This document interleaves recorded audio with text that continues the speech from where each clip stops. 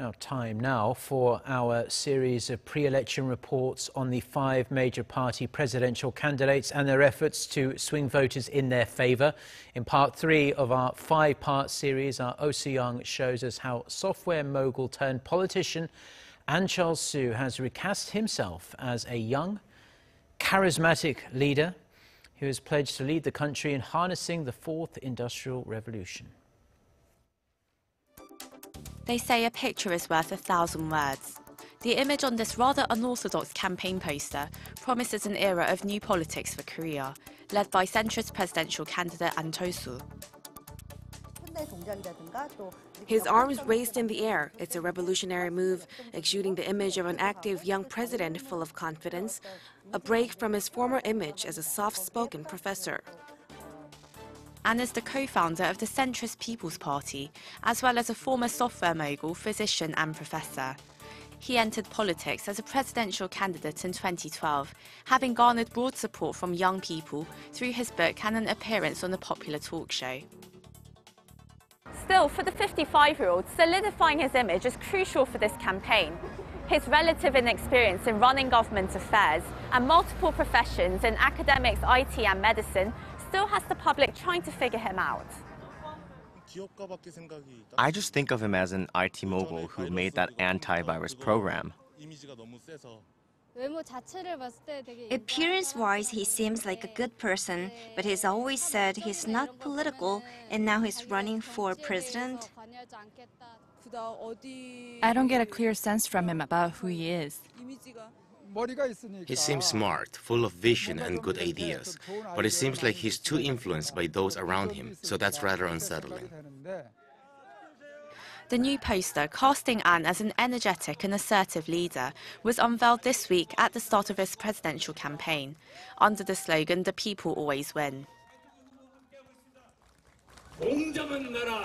I will make Korea a fair country where merit wins over cronyism reform of politics, prosecutors, the economy, whatever kind of reform you may seek, I will fulfill your request. The pillar of our campaign is to change the old political system of hegemonic power and incompetent secession. Ahn is a candidate with no illicit ties. He has integrity and does not twist his words. So our strategy is to emphasize those strengths in the local context wherever he goes. On the campaign trail, Ahn has made stops in traditionally conservative regions like Daegu and Gyeongsangbuk-do province.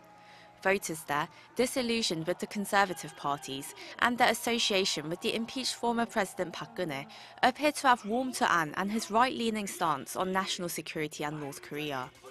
Young people are another key demographic that Ahn must swing in his favour. Recent polls show that almost 95% of Koreans in their 20s are planning to vote in the coming election and 58% of them have said they could go back and forth until election day, making them a highly unpredictable but necessary pool of voters to win over.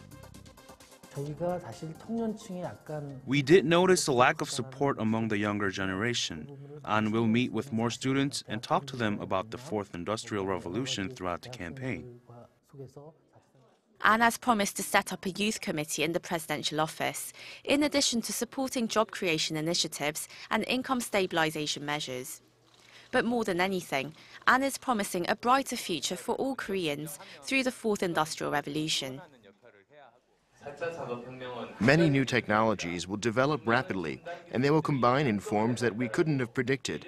The next 20 years will be about the fourth industrial revolution. We must harness it and make it a source of our livelihood and jobs for the next two decades. Ahn has been visiting major tech hubs in the country, pledging to engage professionals across diverse industries, including IT, new materials, creative content, and even food and the humanities.